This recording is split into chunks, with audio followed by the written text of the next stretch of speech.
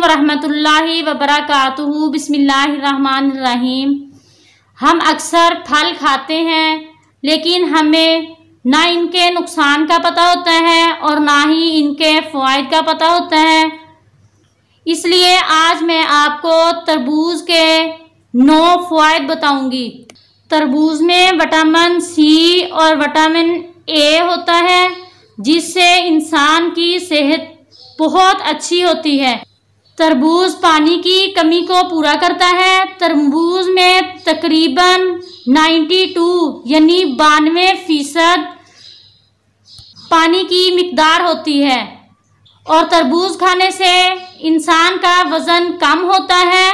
जो लोग ज़्यादा वज़न की वजह से परेशान हैं, वो तरबूज का इस्तेमाल करें, क्योंकि तरबूज में कैलोरीज की मकदार बहुत कम है और पानी और फाइबर की मकदार बहुत ज़्यादा है, इसलिए ये वज़न को कम करती है।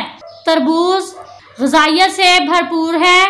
ये इंसानी जिसम के लिए बहुत ज़्यादा ज़रूरी है।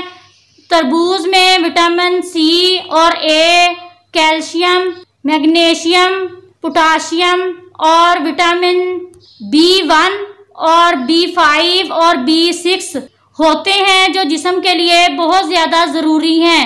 तरबूज खाने से कैंसर से बचाव होता है, क्योंकि तरबूज में ऐसे अज्जा होते हैं जो इंसान को कैंसर जैसी बड़ी बड़ी बीमारियों से महफूज रखते हैं।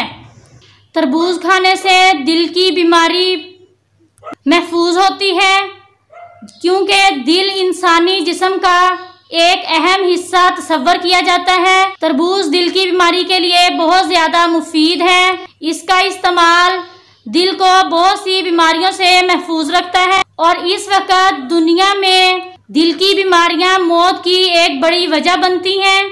लेकिन तरबूज एक ऐसा फल है जो कोलेस्ट्रॉल और ब्लड प्रेशर को कम करता है और तरबूज खाने से दिल का दौरा भी नहीं पड़ता। तरबूज का जूस इंसानी सेहत के लिए बहुत ज़्यादा मुफीद है। इससे इंसानी जिल्द, सुरखो सफ़ेद और मुलायम हो जाती है। तरबूज खाने से सिर्फ़ अंदरूनी बीमारियाँ या अंदरूनी खूबसूरती नहीं होती, बल्कि बैरूनी खूबसूरती के लिए भी तरबूज बहुत अच्छा है। इसके साथ बाल भी बहुत मुलायम और लंबे हो जाते हैं।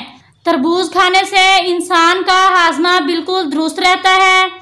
क्योंकि हाजमे के लिए इंसान को सिर्फ़ दो चीज़ों की ज़रूरत होती है, पानी और फाइबर, जो तरबूज में दोनों चीज़ें पाई जाती हैं। इसके लिए तरबूज का जूस ज़्यादा बेहतर है।